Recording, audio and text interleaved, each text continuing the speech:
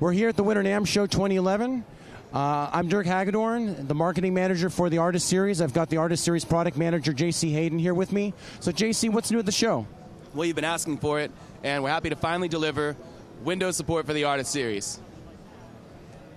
So, what are some of the DAWs that are going to be supported under uh, Windows EUCON? Well, of course, with the uh, EUCON support in Pro Tools 9, you'll have uh, Pro Tools support for the Artist Series with EUCON on the Windows platform. Steinberg's Cubase and Nuendo that we're really excited about. Uh, Sonar, um, Magix Sequoia, and Pyramix Merging.